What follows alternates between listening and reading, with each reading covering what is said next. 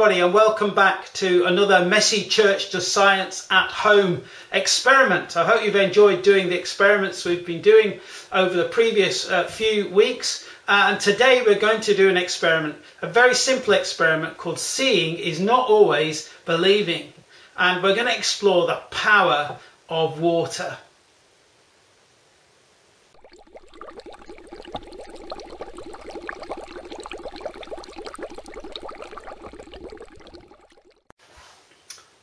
For this experiment, you just need a few simple things that you can get from your kitchen.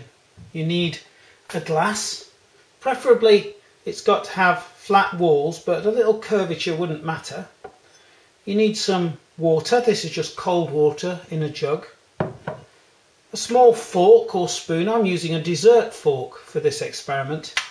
And a 2p coin or a 1p coin. Actually, any coin will do but make sure it's quite thin. So a 2p, a 1p, a 5p or a 10p piece. And finally, just two small bits of paper, white paper. They'll help show some of the experimental effects up later on. So take your 2p coin and put it on the centre the piece of paper and then or we'll turn it over so the queen's head is facing up and then we put the glass of water on top. If I take the camera in my hand you can see the 2p piece sitting at the bottom of the glass.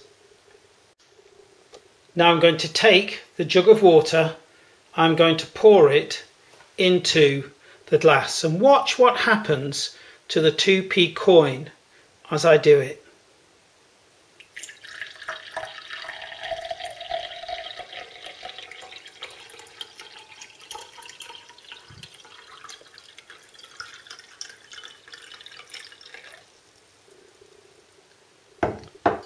What did you notice? You stand and look at the glass from the side like I'm doing, can you see the 2p coin? It's disappeared. But seeing's not the same as believing. So if we come closer to the glass and start to look on the inside, first of all, oh wow, there's the coin, but it's not at the bottom. It looks like it's higher up in the glass. In fact, it looks much bigger than it did at the beginning. And as we start to pan further in, we can see both the coin and its larger reflection on the side of the glass. So it was there all along. And then as we pan back away, we first lose the coin and then we lose its reflection and it's gone. So for our next experiment, we need the glass of water and we need the little fork or spoon that you've got. It's pretty strong, this fork. I suppose I could bend it, but it'd be very hard to break in two. But I'm going to see if I can break this fork in two just by using this water.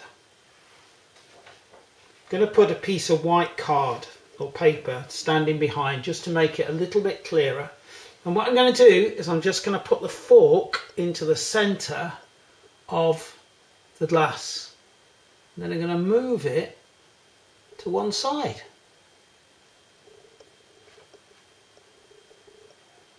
Can you see that actually the fork is broken? Where the handle goes into water, into the water, is different from where the handle appears in the water.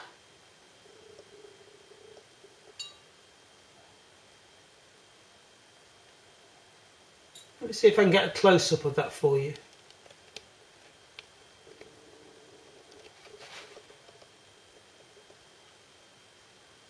So the water is breaking the spoon.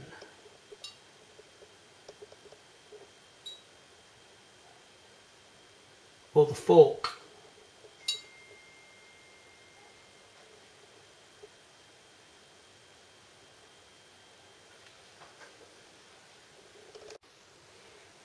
And now I'm going to see if I can teleport this spoon from one side of the glass to the other just by using the power of water.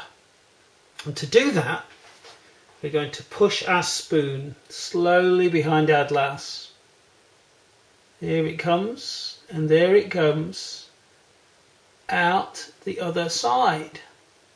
Can you see that? I can pull it out this way again. There's the spoon through the water. It's slightly larger because the water acts like a magnifying glass. We take it out. Now I'm going to push it in again. There it is. I'm going to pull it away slowly from the glass of water. And there, can you see that? When I push it in this side, it comes in the other side.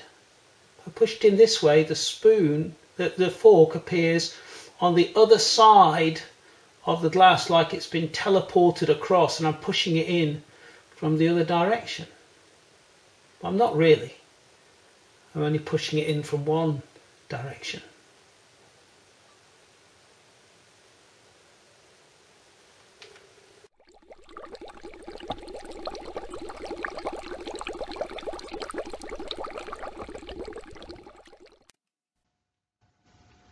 Light travels in straight lines, but when it moves between the water and air, it gets bent a little.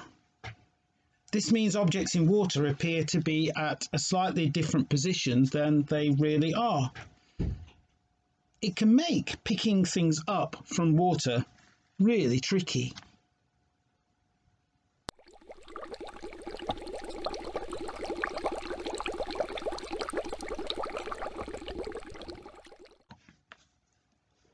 You can't always believe your eyes. The fork is transported across the glass because it works like a convex lens. They turn things the wrong way round. The lens in your eye works just like that.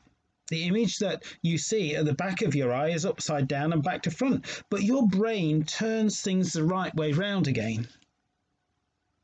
It was hard for Jesus' disciples to believe Jesus was alive on Easter Day especially for one called Thomas. Unless he saw Jesus, he said he would not believe it.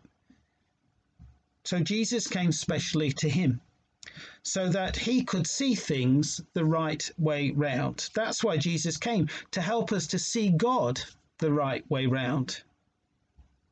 We can't see Jesus in the same way. But Jesus said to Thomas, You believe because you see me great blessings belong to the people who believe without seeing me. How do you see Jesus?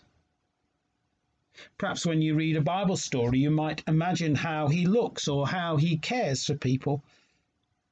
Perhaps when we see people loving and caring like Jesus did in our families, in our schools, in church, or the world, perhaps we might see something of Jesus then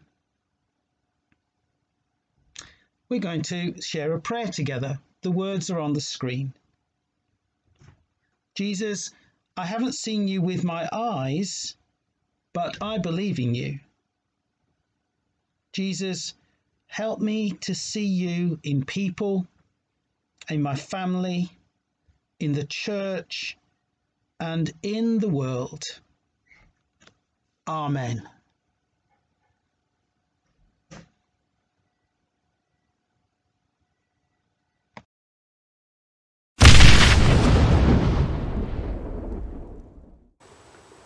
Well, I hope you enjoyed that experiment exploring the power of water and whether seeing is believing.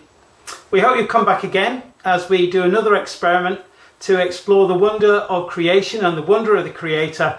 But until then, it's Dr. Dave here saying goodbye. God bless.